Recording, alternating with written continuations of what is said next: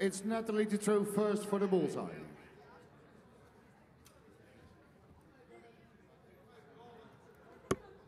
Outside the ball.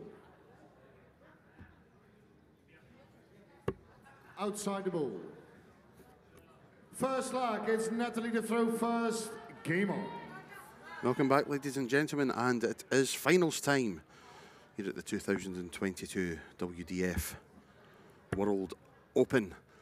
Ladies first, of course, and Natalie Gilbert will take on Aileen de Graaf.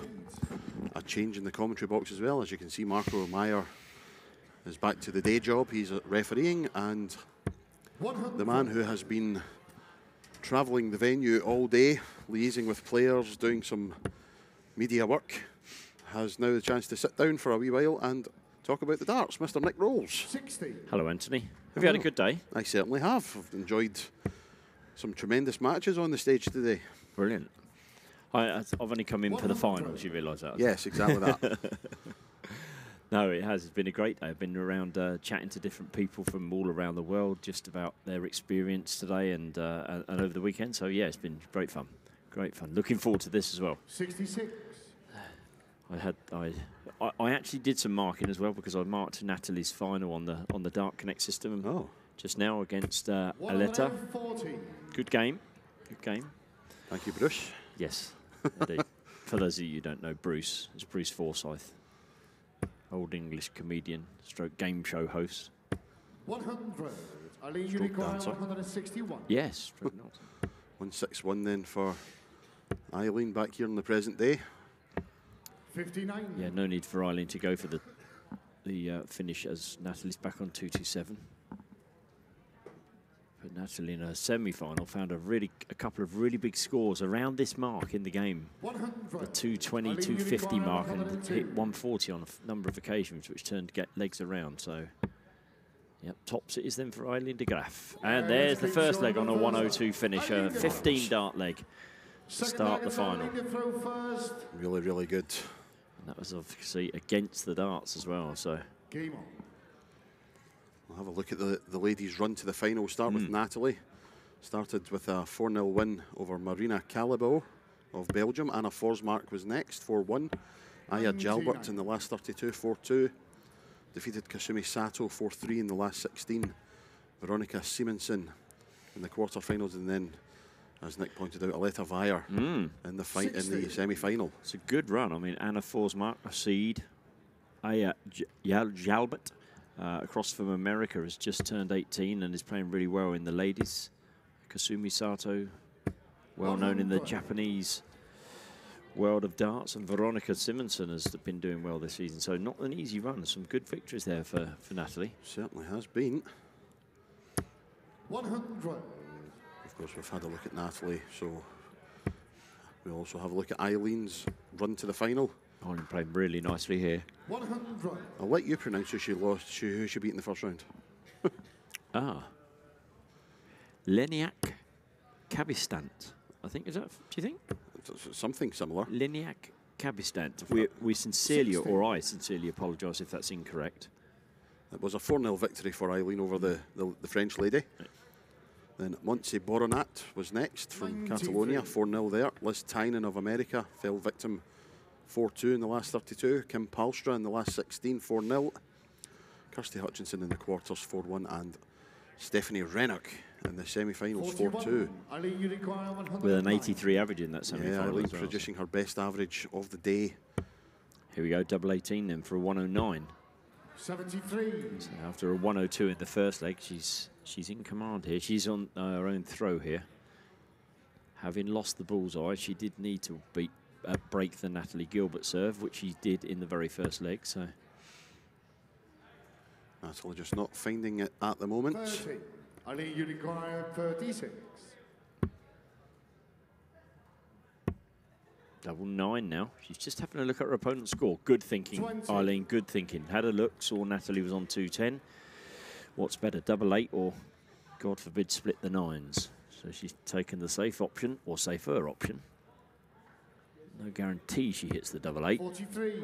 Aileen Unicorn 16. but she'll be more comfortable coming up than she would be for either double nine or nine. Good grief. Can't get much closer than that. Eight. Oh, Natalie Unicorn, pulled that one. 167. Hmm. A lot of shoulder in that throw. Natalie Gilbert, 167 shots on. Treble 19. Bullseye. Oh. 125. That would have been a roof raiser right there. I don't think Natalie. I think she would have been forgiven had she hit that if she'd done a lap of the Natalie stage. Unicorn, 42. Aileen's now had nine darts at doubles. Eh? And that's game She's paid the price for it as well. Indeed. Having broken the Natalie Gilbert serve, to have nine darts at doubles there. Natalie to throw first. Game on. Bit of a sin. You, c- even now, you can just imagine there's the blood is boiling in the Aileen de Graaf body. Definitely. Should have been for all intents and purposes 2 0 to the Dutch lady, but hmm. Natalie Gilbert stuck to her task, took the opportunity she was given, and we have parity once more at one apiece. First to five in this final. yeah, the men's final to follow, which is again best of nine. 140. Benjamin Pratnemer, the Slovakian, against Kai Fan Leung of Hong Kong. Most certainly is a world open, isn't it? Yeah. Yep. Four of our four finalists. 140. An English lady, a Dutch lady, a man from Hong Kong, and a man from Slovakia. Wonderful. 60. This is not the last we'll see of Natalie Gilbert. Of course, she'll be back on stage tomorrow for the semi-finals of the Windmill World Masters. Talking of the Windmill World Masters, how good were the two or the four semi-finals in the youth as well? The Paige 81. Pauling, I think, averaged 76, if I'm not mistaken. She did. That was 76. marvellous. And uh, she plays the young lady from Finland. 125. I think in the in the final. Yep, leader Lanko. Yes, Lida Lenko, And 72 was Paige's average, but 72. My apologies. still absolutely magnificent. Yeah. Of course, a great effort. And then the boys, that's that's going to be an absolute thriller with uh, PJ Stewart, or PJ Stewart Jr. I should have called him. He had a 76 average, and Luke Littler had a 78 average. So evenly matched if you base it on just that one stat, which is obviously not fair, but. Uh, ne- both of them have got plenty of confidence, so that's going to be a really interesting game. It's the WDF World number one against the WDF World number three. Mm-hmm. 56 for Aileen. Tops it is then for a 2 1 lead. Uh, and Oh, another yes. breaker throw. Aileen de Graaf. So 102, no problem. 76, no problem. Nine darts at, I don't know, 36. Pff, can't do that. Crazy game, right? It is, it's nuts. There's some fabulous games in the boys. Just looking down the average, Luke had a 90 average against Andras Borbeli of Hungary. 60. 87 for Bradley van der Velden. I, I couldn't help but comment on the on the two lads that played in the uh, semi-final there, Vad, Bradley van der Velden and Peter Stewart Jr. Fabulous beards Yes, from, absolutely. from two lads under the age of 18. In fact, Bradley's only 14. Uh, crazy, 92. crazy. I did speak a little bit about the boy that Luke played in the semi-final, Matthias Rayjohn. Mm-hmm. I had the. Well, we're about to watch Natalie Gilbert hit a maximum. 90. Marco Meyer gives it the beans on the microphone. Yeah, the mic's open to the to the auditorium now as well, so the people in the room. We've kept it down to that's just so that we can hear it for the stream during the, the two days. But uh, these are the only games going on now, so we can play the play that out. So Marco's given it plenty, as you just said. absolutely. Sorry, you were saying about uh, you were saying about Mateus. Yes, I had the pleasure of playing against him in the first round of the Czech Open last year. Ah, I, I was lucky to get nil. ah, 139. Excellent little player. You were lucky to get nil. Yes. Fantastic. Did they actually call your name for Anthony You require at any point? No. Ah, Probably not. then you were lucky to get nil. 26. Oh, painful blow off the back of Ireland's 139 as well. This leg's turned around. 110 then, treble 18. Oh, treble 19 now. That's a great dart to leave 32. Natalie Unicorn, 135. So we've had some 135 attempts on the stream. 25 all ball. Two doesn't help.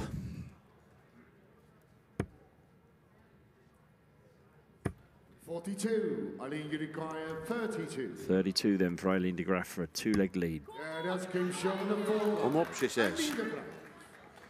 Fifth leg, Familiar Natalie Aileen de Graaf cry. Absolutely, yes. It's become Synonymous. Synonymous, Yes, yes. yes, I like it. Say it, but don't spell it. Pussa or something, isn't it? 54. So Natalie finds herself two legs behind. She ne- really needs to hold her throw here. And Aileen thinking, if I can get one more break here, I'm, I'm nearly there. Nearly there. On the hill, indeed. is the phrase. 58. At tomorrow's action, we have the Youth World Championship qualifiers tomorrow. Very exciting for the youth players to be playing. I forgot all about that. I was talking to oh. Paul Engelbertink about five minutes before this started. I asked him what time does this start as a maximum comes in. No. I asked him what time does we start tomorrow. He said, well, the youth start at 11. So like, the youths, are they playing again? Sure enough, yes. 100. The World Championship qualifiers. We will see which four youth players will make their way. Six. Six, four boys, two girls. Oh, yes, I forgot. It's semi-finals for the boys. Hmm. 85. Yep, six youth players off to the lakeside.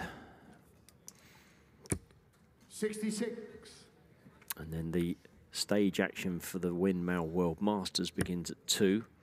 We have the four men's quarterfinals, then the two ladies semi-finals, the two men's semi-finals, and then our girls, 26. boys, women's, and men's finals. All the action starts at 2 p.m. Thanks again to Windmill for their fabulous 59. sponsorship of this That's tournament, of the require World Masters, that is. And uh, of course, it will be available on all of our YouTube channels. YouTube channels, that's better. We've got to say a massive thank you to yourself as well, Nick, and the rest of the Aileen, you require WDF for, 90. with the assistance of the NDB, managing to get the, the Windmill World Masters back on the calendar and indeed hosting this wonderful World Open tournament as well. Natalie, it's you been- 54. Although the effort has been clearly worth it, the players, we've been speaking to a lot of them. Let's see Natalie go for tops. Double 10 then for a 3-2 game, and she's come inside. Aileen, you require 25. Nine for double eight for Aileen. There's the big nine right in the middle as well. Great darts, right in the darts. Really cleared that up nicely for Aileen. Six leg, it's Aileen the throw first. Game on. Yeah, the, the hard work of putting it in together, and yes, you're, you're absolutely right, Anthony. So massive thank you to the NDB. They've been absolutely fabulous to set up, and our friends at Darknet, David and Arno. 92. I know Arno doesn't do a great deal, as David tells me all the time, but uh, yeah, great stuff, and um, it's been brilliant. Uh, everybody's really enjoyed themselves, and it's been some great darts. They've met some old faces that they haven't seen for a while, but also met some new friends. And the, the, to be fair, the comradeship between all players from all over the world has been fantastic. Couldn't agree more. And just the two more days to go. 61. Yeah, we have the youth qualifiers tomorrow for the Lakeside, and on Monday, it's the big one. Qualifiers for the men's and ladies Lakeside World Championship. Yeah, a couple of interesting decisions today. 32. Mikuru Suzuki was not feeling too well this morning and decided not to play today when she was actually just a few points outside from qualifying for Lakeside. Mm. But she decided that she wasn't going to play today, save herself for Monday. So there's obviously two ways of looking at that, but the, the I guess the the fact that the the players that have already qualified for Lakeside won't play in the qualifier. So theoretically, Mikuru perhaps is looking at where the standard won't be quite as high. Maybe that's uh, thinking. And if, of course, if she's not feeling well today, then she has to do what's right for her. Oh, yes, absolutely. And Aileen is uh, making light work of this sixth leg. 99. Aileen, you require A 152. much needed 99 for Natalie. There's one. Another treble 20. 80. That's an excellent last start. 15 darts on double 12 with her opponent way back on 295. And it's looking like, albeit, Oh. oh, wow. 92. Oh, Oh, it's touching. it must have been. Unicorn 24. Double 12 then for the match, for the title. We'll let Marco give it the beans if it goes in. He's going to have to wait. 12. We did a closer look, but yes, it is in the single 12 segment. sounds a really daft thing to say that double 12's difficult to see, but for a referee, it's one of the more difficult ones to see. I mm. always find that, and double 10, 16. obviously, for me. are the- Aileen Unicorn 12. Here we go. Well, neighbour of double 10 is double 6, and that's exactly what Aileen de Graaf has. Game. And first up, Shot it's there. A shrug of the shoulders, and Aileen de Graaf, five legs to one in the final. And she is the 2022 WDF World Open Champion, an average of 82.68 to Natalie Gilbert 70.18. Excellent performance. And Aileen de Graaf wins the WDF World Open. Stick around, we'll be back shortly with our next match and final match of the day. It's the men's final. Benjamin Pratnemer takes on Kai Fan Leung.